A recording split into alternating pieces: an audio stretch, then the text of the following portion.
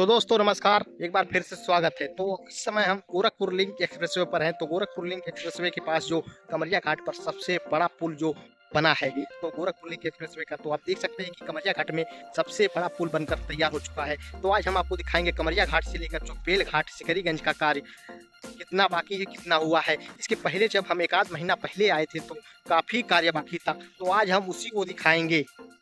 तो दूसरी सबसे अच्छी चीज़ जो लगा है, यह इस पुल पर जो लगा है तो यह रेलिंग लगा है, क्योंकि यह ज़रूरी है, क्योंकि इतना कैप ज़रूरी है, क्योंकि कोई गाड़ी अगर स्पीड में आ रही है, अपना आपा खो दे रही है तो कभी मान लीजिए बाई दबे दुर्घटना छोटी सी भी हो रही है तो इस रेलिंग से भी दुर्घटना होने से रुक जाएगी, क्योंकि यह घाघरा नदी है, क्योंकि 30 से 35 40 फुट नीचे तुरंत आप चले जाएँगे और इसके लिए यह लगाया गया है। तो आप जब भी गाड़ी चलाएँ तो सोच समझ कर ही चलाएँ, कितना स्पीड में चलाना है, कितना नहीं। और बात की जाए तो फोर व्हीलर की, इस पर स्पीड जो आकी गई है, सौ की स्पीड आकी गई है। तो इस समय हम गोरखपुर लिंक एक्सप्रेस वे आपको दिखा रहे हैं।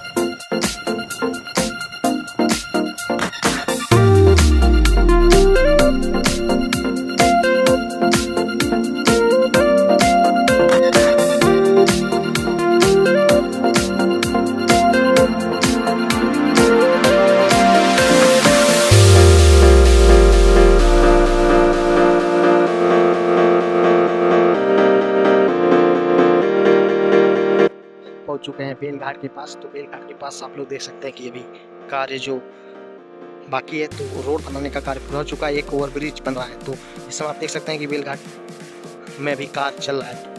एक लेन इधर पूरा हो चुका है, दूसरा लेन ये वाला जो बाकी है तो आप लोग देख सकते हैं कि बेलघाट में भी कार्य बहुत कुछ बाकी है। तो बैकज टू का देखा जाए तो अभी कार्य बहुत ज़्यादा ही बाकी है। तो यहाँ देख सकते हैं कि रोड का कार्य पूरा हो चुका है। तो रोड के ऊपर जो एक ब्रिज बना है पुल तो यहाँ से अब मिट्टी टी पाटने के बाद इस पर भी रोड बना दिया जाएगा। तो ये पुल यहाँ पर भी बना है। तो देख सकते हैं ओवर ब्रिज तो यहाँ पर बात की जाए तो कमरिया घाट से लेके पूरा गोरखपुर तक काफ़ी ही ज़्यादा ही पुल और ब्रिज बनने की वजह से काम लेट हो रहा है। तो आप लोग देख सकते हैं कि इस समय हम बेलघाट के पास हैं। तो बेलघाट का सामने आप देख सकते हैं कि वही बाईपास है। तो इसके आगे अब देखिए, चलेंगे, आपको दिखाएँगे। कहाँ तक बना है अभी तक? सिकरी अभी कितना समय लगे? आपका ड्यूटी लगा लगा? अभी कितना समय लग से फिर भी? दो महीना दो महीना का जुलाई अगस्त पार भी जाई पुल की वजह से लेट हो जाए। पुल फाइनल कमरिया घाट से लेके पूरा गोरखपुर तक सबसे ज़्यादा यही पे पुल पड़ल है। हम्म। चालू हो गई हम्म। यहाँ से गोरखपुर की दूरी ये रोड से कितना पड़ी?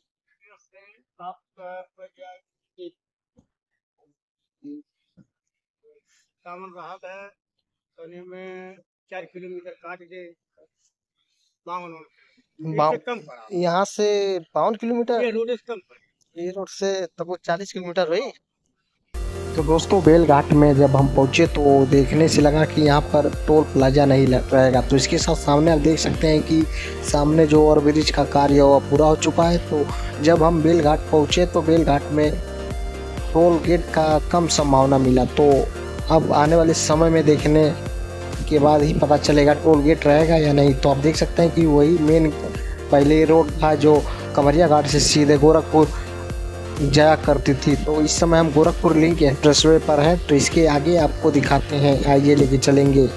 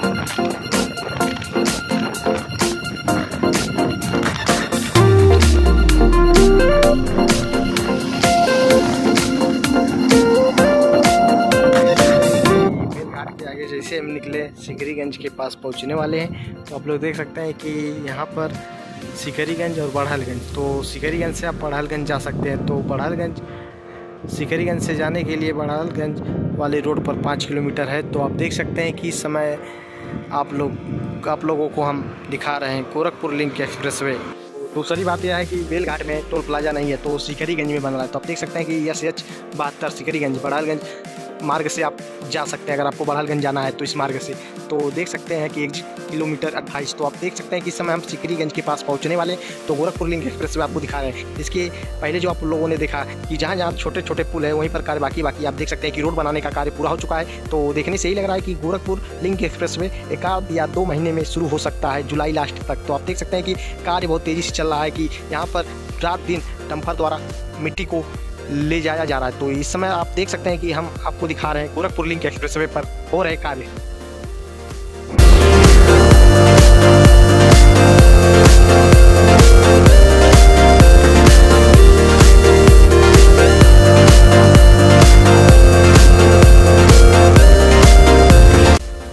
तो आप लोग देख सकते हैं कि एक और अच्छा चीज़ लिखा गया है। लिखा गया है, सुरक्षित चले, आपका परिवार आपका इंतज़ार कर रहा है। तो आप इस- जब भी इस रोड पर चले तो आप अपने ढंग से ही चले, लिमिट में ही चले। तो आप देख सकते हैं कि गोरखपुर लिंक एक्सप्रेस वे का जो कमरिया घाट से, बेल घाट बेल घाट से सिकरीगंज तक हम आपको दिखा रहे हैं। तो कार्य पूरा चुका है, यहाँ पर छोटा छोटा पुल है वही कार्य बाकी है। तो आप देख सकते हैं कि इस समय हम आपको दिखा रहे हैं और इसके सामने आप देख सकते हैं कि वह साथ कुआनो नदी है। कुआनो नदी के बाद आमी नदी मिलेगी। तो यह एक्सप्रेस वे लगभग तीन नदियों से होकर गुजर रहा है। तो इसके आगे लेके चलेंगे हम आपको हम पहुँच चुके हैं कुआनो नदी। तो कुआनो नदी आप देख सकते हैं कि यह कुआनो नदी है। तो लगभग इसी तरह तीन नदी होकर यह एक्सप्रेस वे निकल रहा है। तो कमरिया घाट से बात की जाए तो तीन पुल बहुत बड़े बड़े मिले हैं। तो आप देख सकते हैं कि यही कारण है कि इस रोड का कार्य लेट हुआ है। इतना मान के चलिए, क्योंकि पुल बनाने में ही समय लगता है, रोड बनाने में नहीं। तो आप देख सकते हैं कि इस समय हम कुआनो नदी आपको दिखा रहे हैं। कुआनो नदी